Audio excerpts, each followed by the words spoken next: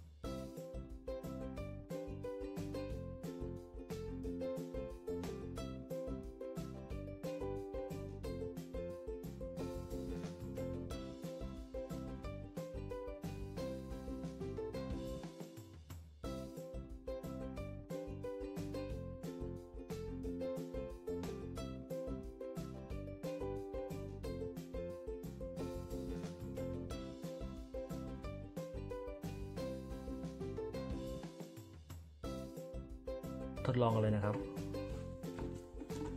เราก็จะเอาปากขวดนี้นะครับ เข้าที่ร่องนี้นะครับ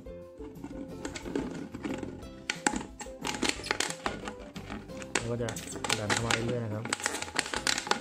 นี่ก็จะมีเป็นเส้นแบบนี้นะครับนะครับเป็นเส้นทีนี้เราก็จะดึงนะครับนะครับ มันก็จะเป็นเส้น เส้นนี้ความหนาก็จะเท่ากับ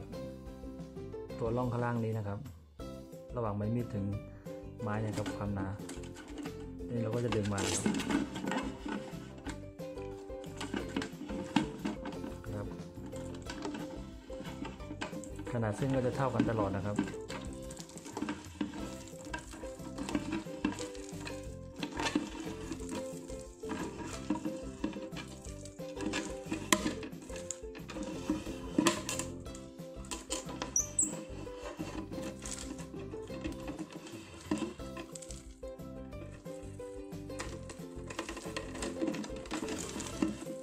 ดึงมาเรื่อยๆนะครับ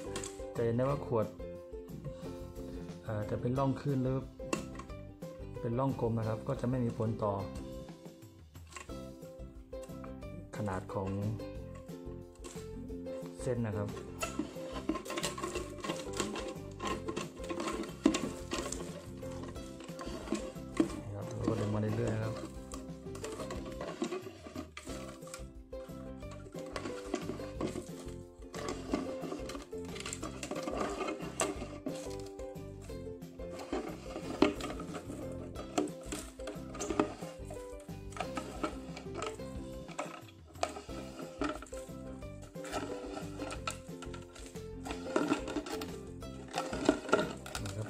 เป็นคลื่นนะครับเห็นไหมครับ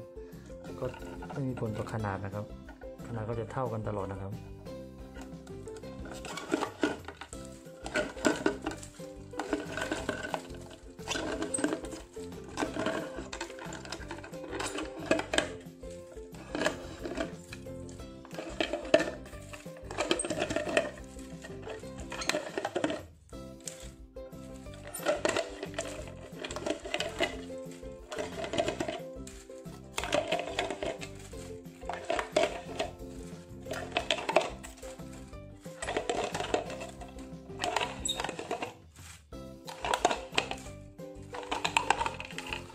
เราก็สามารถใช้ได้ทั้งขวดเลยนะครับ ขวดนี้เป็นขวดน้ำนะครับ ขนาด 1.5 ลิตรนะครับ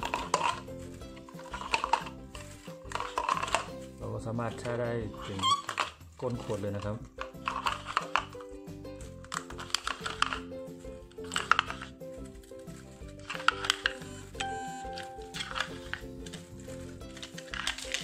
เห็นไหมครับ